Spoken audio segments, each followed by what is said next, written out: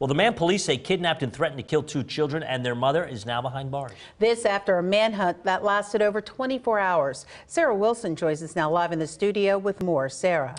Dennis Valerie, 39 year old Kenneth Smiley was arrested without incident around 2 o'clock this afternoon. He faces a total of 16 charges, including three counts of first degree attempted homicide. Police say in the early hours of Thursday morning, Smiley went inside a home near South 20th and Holly Street. It was there police say a woman inside the home woke up to find Smiley sitting on her bed.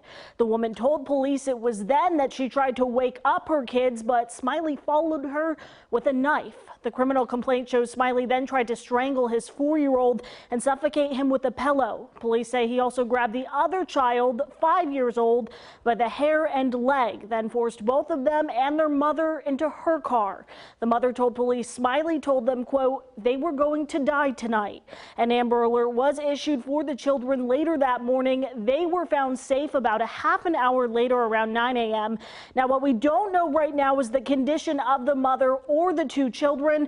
We also don't know the circumstances leading up to Smiley's arrest. We reached out to the Dauphin County DA who declined to give any additional information. Of course, we'll keep you up to date on air and online as those details become available. In the studio, Sarah Wilson, ABC 27 News. Valerie. Thank you, Sarah.